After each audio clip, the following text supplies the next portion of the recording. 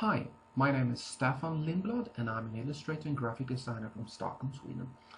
In this little video tutorial I want to show you a couple of ways of image adjusting a pencil drawing that I made uh, draw on a slight yellowish paper and uh, I want to make it more white and do some image adjustments to it and I want to use the lens object features and later on I'm gonna show you how to color it a little bit also. So but before we move on um, uh, with that we're gonna go first and make this image which is now an RGB image and temporarily make it into a grayscale image. Leave it as it is in this dialog convert to grayscale and just click OK. And you're gonna see it turns gray. Yep. So now it's a grayscale, 8-bit grayscale. We're going to make it, once again, back into an RGB color. We do that because we want to be able to use all the features, uh, all the tools and everything um, available for RGB images. Some of these are not available when it's a grayscale image and I can't color, use the color swatches here um, which I'm going to use later on if I'm working in a grayscale mode. So I have to work, so I have to work in RGB mode. So, but this is now an RGB color and it's gray. So, um, many times when you do image adjustments, like tone curve and so on, contrast enhancement and everything, you many times go to the menu and adjust and choose something, uh, something here. But I want to show you something that is where everything you do here is non-destructible on the image itself. So, for example, I'm going to use the tone curve, for example. When I'm using the tone curve like this one here, what I'm doing is I'm allowing me to go back again and make adjustment to, my, to the tone curve uh, all the way the, the, the process I'm working with, with this project, with this image. So I click OK here and for example if I can turn it off and turn it on and as you can see I can go back and make more adjustments if I need. Uh, that would not be possible if I was working from this from this uh, effects here. So um, I'm going to use another one too. We're going to use what's called contrast enhancement in Corel Photo Paint. In other programs uh, it's it might be called levels, but in Corel Photo Paint, which is a program uh, part of the Corel Draw Graphics Suite, it's called Contrast Enhancement. Because I've done this many times before, uh, I know that a level, uh, a value here, uh, I usually use for this yellow paper, because this is one of my favorite sketchbooks, is 68.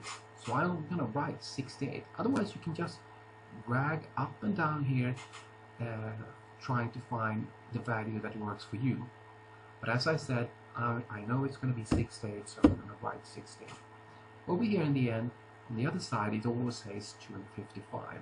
Even here, I know that usually I wind up this colored paper around 240, 245.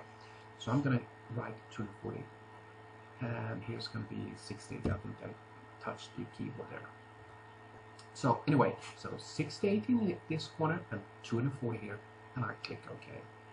And from there, I'm going to use contrast enhance uh, contrast, brightness, contrast, intensity. I'm going to use the one in the middle, which is contrast, and I'm going to one up somewhere here, 89 or maybe 81 or something like that. Okay, that's pretty bright, isn't it? So from there, I'm going to go back to curve and see if we can do there. Yeah, we're going to drag down the white a little bit more so we get it more proper as I wanted it.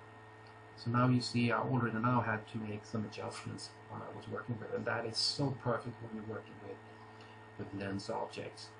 So um, I select background and now I'm to start coloring.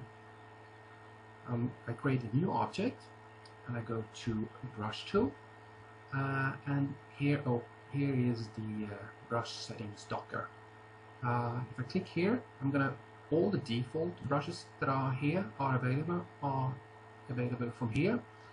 Uh, in the bottom you see two my own. Usually have much more my own here, but uh, I was cleaning the computer the other day, so um, I only have two here for the moment. So I'm to choose the uh, what I call a little bit more blurry one. Uh, and if you've been to London, you know that the Chelsea fire station, which is in London, UK, uh, the doors are slightly red. So when I color this one here now, you're going to see if I just color like that, it, it covers my the outlines of my pencil. So what I want to do is to use something that I just love, and that's the merge mode. As you can see here now, when I'm putting here, you see that it says merge mode. You can use multiply, or if darker, uh, or just anything that you think fit your project. For this one, I use multiply. But this is too dark, isn't it? So uh, I don't want to draw it like that. So I'm just going to take away that again and redo it. And then I choose multiply, so you can see how I did it. And then I start to, to paint the doors. As you can see, this red is really, really dark. So I can't really see the, um, the pencils. And actually, that's okay right now. I can change I can of course adjust this a little bit, but I'm going to do it right away. Over here you see something called opacity.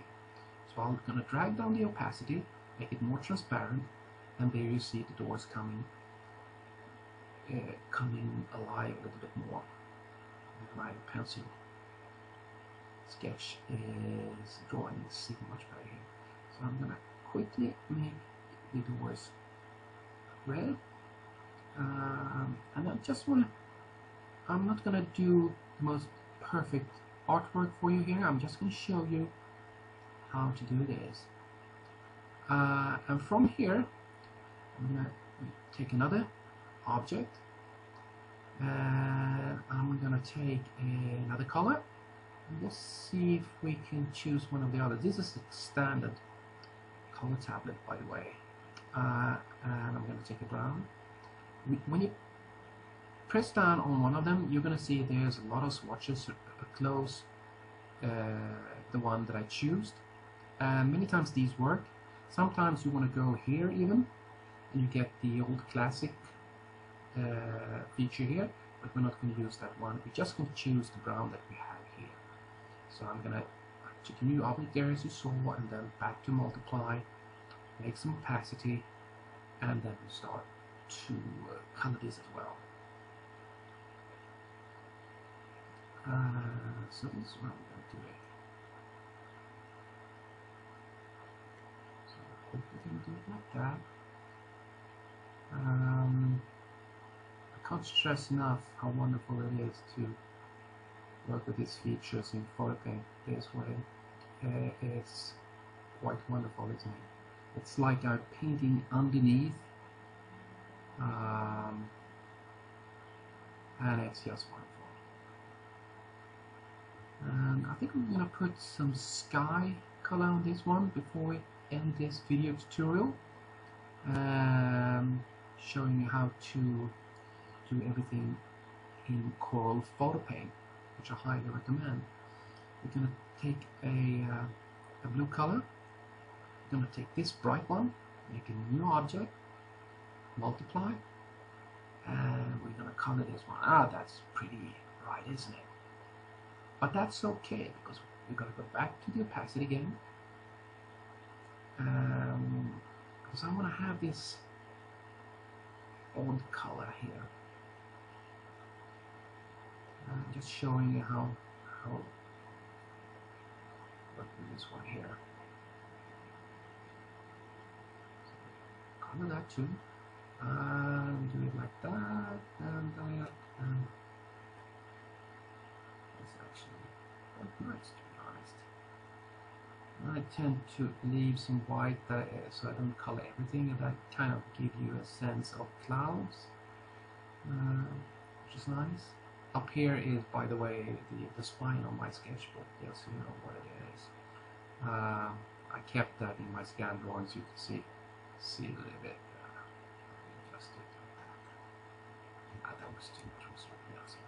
That. Okay, so uh, there we go. Hope you like this um, and enjoy the day wherever you are. Thank you.